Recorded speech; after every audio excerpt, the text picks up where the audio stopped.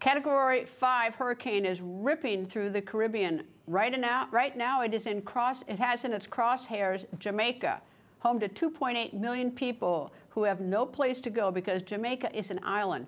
Her name is Hurricane Melissa. She's on track to make landfall tonight or early tomorrow morning with winds topping 160 miles per hour. As it stands now, Hurricane Melissa is set to be the most powerful storm in Jamaica's history. Meteorologist Amy Metz has the latest. Amy? Thank you, Greta. Yes, this is extremely dangerous. The situation going on now prompted air travel to completely stop yesterday at 8 p.m. Uh, you can see Jamaica behind me with its hurricane going right over the entire island by tomorrow, on Tuesday, we're looking at a landfall.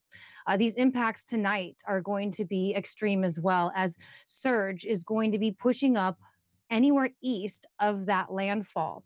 A wall of water coming in with the strong winds up to 13 feet. That's going to be higher, very close near Alligator Pond and regions that are right next to that eye wall. Kingston would not be surprised to see six foot rise in the waters there. But on top of it, Kingston and other regions along the southeastern coast will be inundated with extreme amounts of rain. I'm talking up to two feet in that location.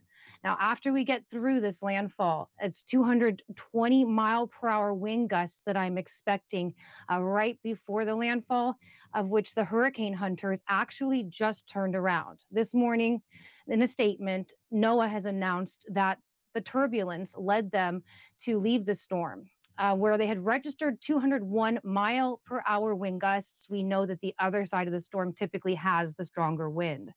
Now, by Wednesday, as the storm is passing over the island, there will be a pull near Montego Bay from the north, pulling that water and surge into the northwestern areas across the island. Unfortunately, this is going to be extremely devastating Local agencies there have opened up 800 shelters as people are preparing for the worst. Uh, still, some people were out walking around, but these beaches are going to be evacuated. Just tropical storm force winds earlier able to collapse some of the trees.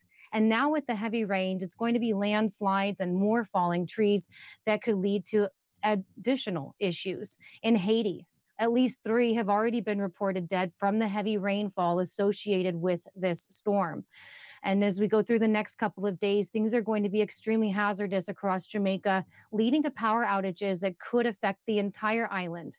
And in some cases, these rural areas don't get power back for months. Uh, Greta, please, we'll keep our thoughts and prayers with these people. A lot of nonprofits are out there now. And if anybody wants to coordinate any kind of supplies, you can look up meteorologist Amy Metz or some of those organizations that are helping out.